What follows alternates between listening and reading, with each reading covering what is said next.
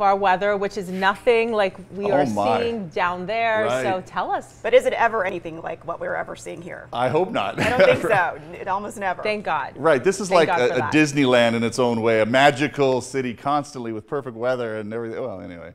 But we've got uh, those uh, upper 60s, which are soon to be 70s very soon. I mean, across the valley.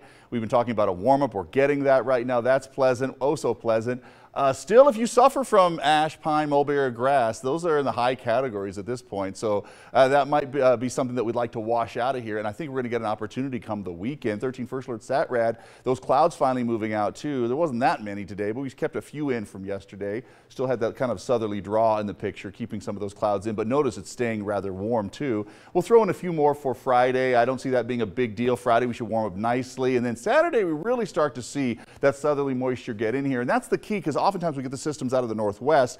You start dragging in that southerly moisture, it won't be as cold. And so now we know that there are better chances for rainfall for the uh, maybe end of Saturday, start of Sunday. Mo this computer model is keeping most of it in for Sunday as it kind of cruises in Sunday morning. You can see west to east make itself known. Mostly the local mountains are dra dragging it out. We're not seeing a lot of snow with that, but uh, nevertheless, maybe some higher snow levels. Either way, pleasant conditions to wash out some of this air. It'd be nice to do. Overnight lows have come up as well, so those are nicely in the upper 40s to right around uh, 50 degrees, and more middle and upper 70s for tomorrow around the valley. So that'll be oh so pleasant to catch.